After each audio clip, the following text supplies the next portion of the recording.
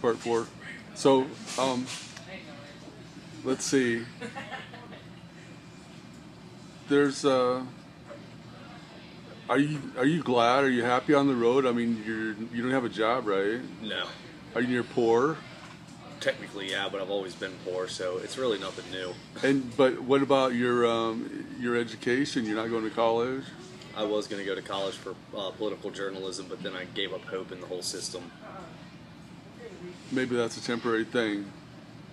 Eh, maybe, but I'm I'm more waiting because like my brother, he's an economist. He was he didn't get to finish, but he went to college for like at least a year or two and studied economics and found out that the way this country's going, this the the economic collapse is coming.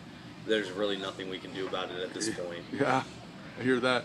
You know, you can learn a lot. You can go to online classes, uh, college classes for free on your on the internet. Oh yeah, I think there was actually a uh, there was a college. I can't remember the name of it, but they released like like at least a hundred different courses for free Wow. online. MIT, Harvard, Yale, a lot of places, Stanford, they all have classes.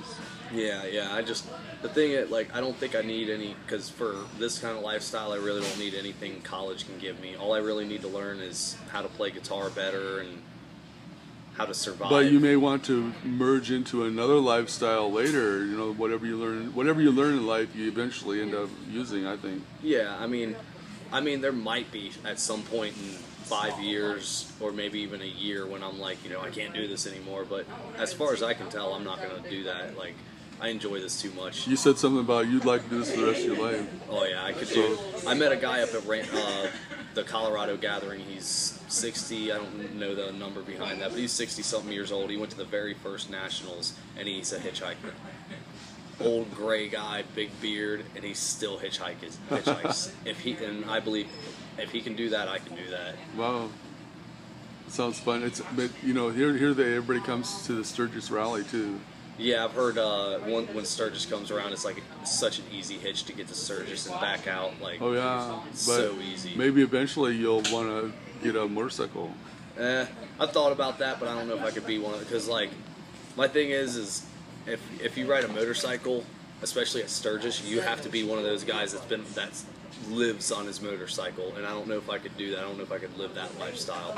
I do like traveling and all that. But you're camping out, isn't the motorcycle just an extension of that?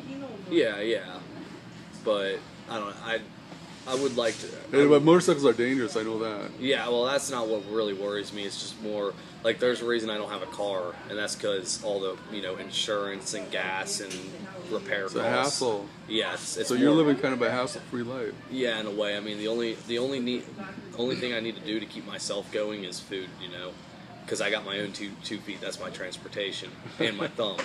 Yeah. If I lose my thumb, well, then I can just fly a sign and hopefully people realize I'm hitchhiking. but I just use my thumb and my feet. Yeah. So, uh, but you're traveling alone. Yeah. Don't you like to travel with somebody?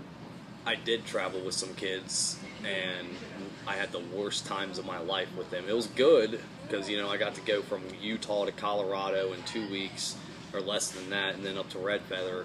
But it was just I I, I got I wasn't there for it, but a meth had attacked our group of people because he kicked his girlfriend. They hopped in on it. We're like, hey, stop! And he attacked them, ran by, rammed the van I was with, and then the next day, his girlfriend was left with her the dog, and the dog attacked the baby or this baby, and almost ripped his face off.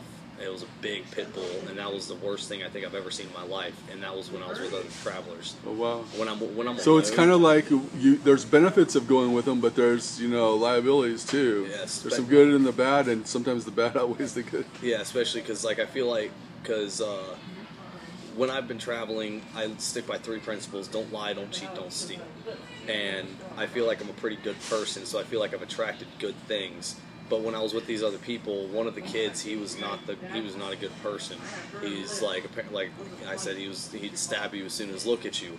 He'd rob you for no reason and all this just to get a fix. And I'm like, yeah, he's he's not a good person, and he attracted a lot of negative things. And I believe that's you know because of his his actions. His actions attracted negative things, and I feel like that's why negative things happened when we were when I was with him. Hmm. But I've been away from that group for about about four weeks now. I think. Do you know where they are? I know Gator is in Denver right now. I don't know where Bug is at. Bug is he's the kid that I'm I'm talking about, and I don't know if he's still with Gator or not. Okay, we're at five minutes. I'm gonna turn it off and on.